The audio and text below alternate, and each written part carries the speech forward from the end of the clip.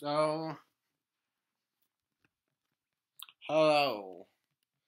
This is going to be a video on my recording setup, which behind me is my recording setup. Have a Windows laptop right there, Elgato Xbox and yeah, it's the desk is a bit of a mess right now, and then here is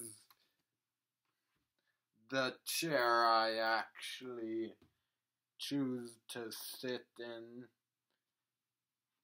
for my recording. Got the mic on the audio box down there could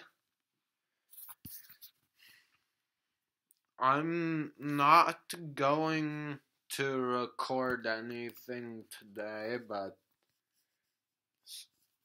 and you and also I need to somehow get this working, and you might say your TV looks fine, but the yeah the reason why it says no signal here is not because I haven't plugged in the game capture is it is actually that I, I we haven't I we have an HDMI port here but last year this HDMI port here fell out.